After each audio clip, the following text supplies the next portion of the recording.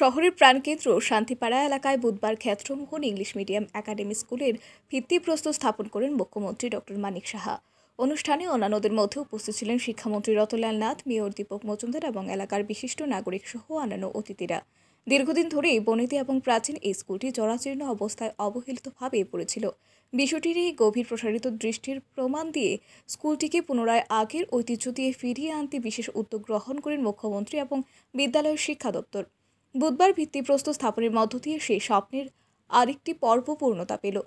নিজের ভাষণে এই বিষয়ের উল্লেখ করে মুখ্যমন্ত্রী জানান, স্কুলের ভিত্তিপ্রস্তর স্থাপন সম্পূর্ণ হবার ফলে একটি দীর্ঘদিনের স্বপ্ন পূরণ হলো।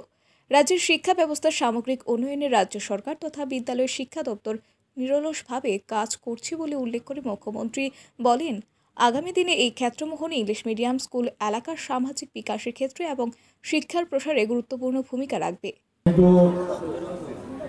কোনো অবস্থায়, অনেক চেষ্টা যখন আমি ক্লাবের সেক্রেটারিও ছিলাম, সভাপতিও ছিলাম, অনেক চেষ্টা শান্তি করেও সেটা সম্ভব হচ্ছিল না।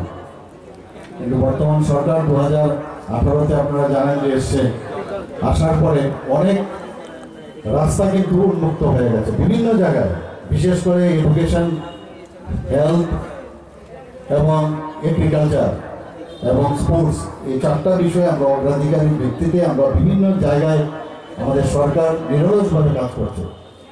এডুকেশন আমাদের প্রাইমারি বিষয় এবং আমাদের মাননীয় শিক্ষামন্ত্রী সেই দিশায় বিভিন্ন প্রকল্প আমাদের সরকারের হয়ে ডিপার্টমেন্টের হয়ে উনি মানুষের জন্য করছেন।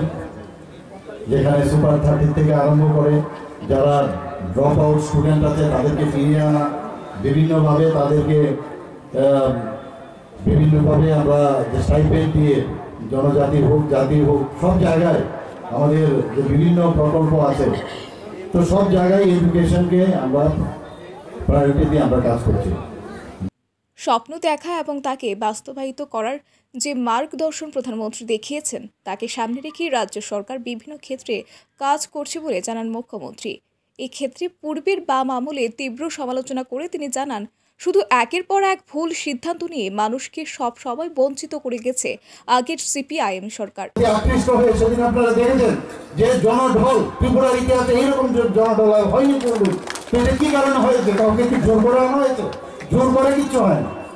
দেখে যে কাজের মানুষ, আর কাজের নিরিখেই মানুষকে পরখ করে মানুষ। কাজে এই- জায়গার মধ্যে আমি এখানে রাজনীতি আমরা সত্যিকারের অর্থে এখানে মানুষের যে চাহিদা, তা পূরণ করতে এটা আমার কি আছে?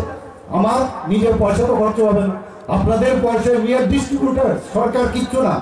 আপনাদের পয়সা প্রপারলি ডিস্ট্রিবিউট করব কিনা, এর জন্য সরকার। আমি আমার এটা আমার ক্ষেত্রমোহন ইংলিশ মিডিয়াম স্কুলে আগামী দিনে রাজ্যের শিক্ষাঙ্গনে উল্লেখযোগ্য ভূমিকা রাখবে বলেও জানান তিনি। এলাকাবাসীর যে দাবি ছিল তাও আজ পূরণ করা হয়েছে ভিত্তিপ্রস্তর স্থাপনের মাধ্যমে। এই কথাও উল্লেখ করেন মুখ্যমন্ত্রী।